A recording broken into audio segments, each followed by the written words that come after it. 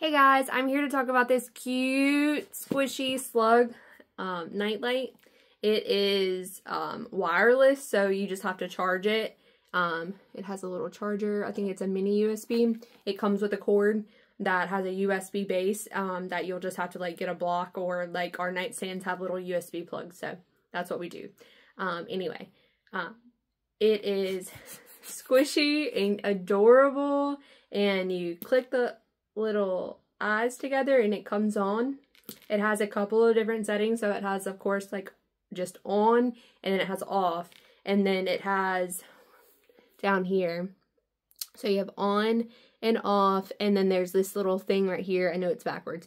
Um, it says 15, which it's 15 minutes.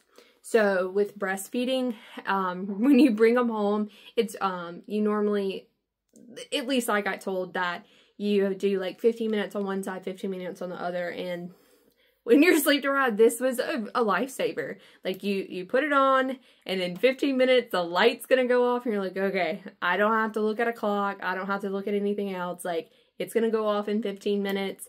I know to switch him over and then I'll put it back on and know that I like made it again to 15 minutes. So it, has been really great. Um, he's older, a little older now. He's nine months and so now he he likes to play with the squishy, like when we're at night, and um, I just think he's absolutely adorable, and I think he's gonna think that he is absolutely adorable for more than you know just a couple of months.